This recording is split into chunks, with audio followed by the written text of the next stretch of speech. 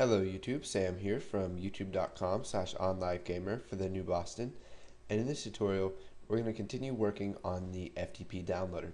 Now while we're working on this program we're going to be jumping back and forth through different things so you may want to watch start to end of these tutorials because in each uh, tutorial we're going to be working maybe on one specific thing but then we're also going to be working on other things as well.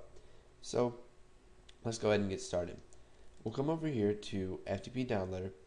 We'll select our form and we'll click the lightning bolt and we need to access the load event. So whenever it loads, we need to get the username and the server and the password and we need to store them somewhere. So let's make a variable private and we'll just call it FTP downloader um, as a new and now we're going to have to use our uh, class library that we referenced.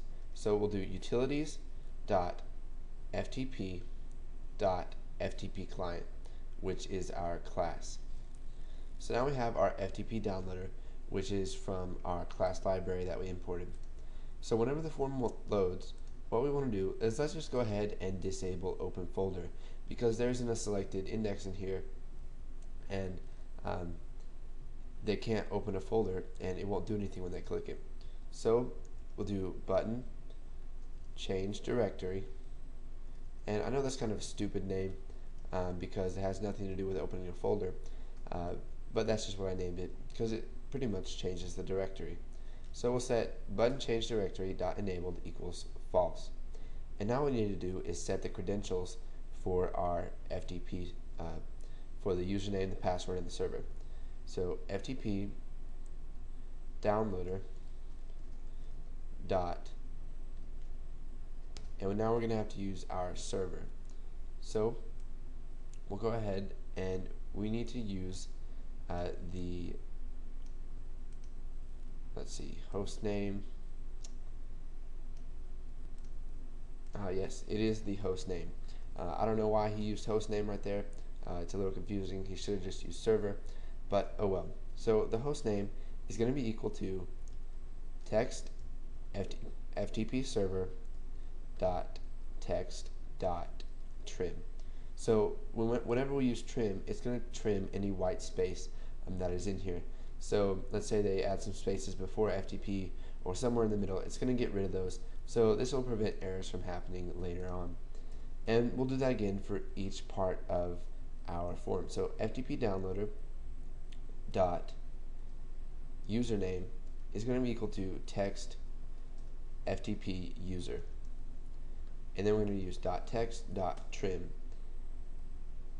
And let's go ahead, let's not use trim in there in case they need to have spaces. And then FTP downloader dot password is going to be equal to text FTP pass dot text. So when the form loads, it's going to disable this button and set the credentials for our FTP downloader object, which is of type FTP client. Okay, so now what we want to do is we want to set set it to the home directory when they click on home directory so that we can view all of the files in there. So what we're going to do is type FTP downloader dot current directory, so we're going to access the property current directory, and we're going to set that equal to forward slash. Now, the root directory for all FTP servers is just going to be a simple forward slash, and all of the files and folders are going to be stored under that. So, after we do that, we're going to have to add all those files to the list box. So let's go ahead and we'll create a method to do that. So private sub refresh list. And whenever they refresh the list, let's go ahead and clear list FTP files. And we don't want to clear selected. We want to do list FTP files dot items dot clear. Now let's just go ahead and comment this. We'll say really important. Adds items to list box.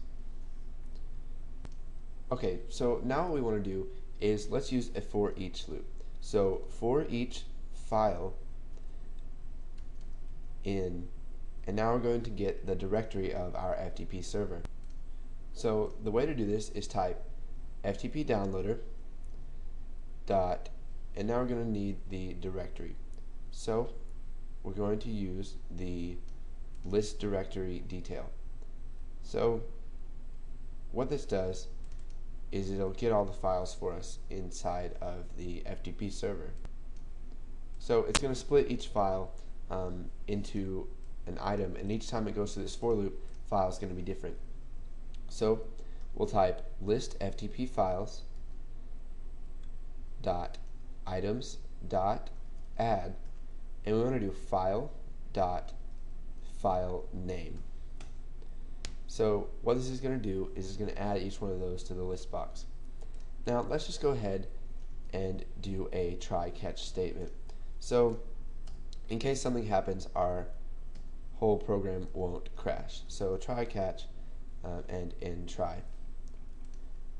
And we'll catch ex as exception and we'll do message box dot show ex dot message. So let's go ahead and run this and hopefully everything is going to work fine. So here's our form. Um, and let's go ahead we can update the server. And let's see here. Let's go ahead and go to the home directory. Ah looks like we're getting a bit of a problem here. Um, when I copied and pasted over from the um, earlier from my my version of this um, it set these to disabled automatically.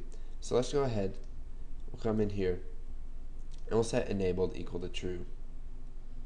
So we will do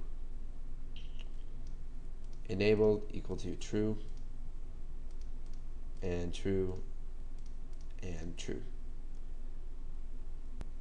And now what we need to do is whenever they click home directory we're going to have to call refresh list.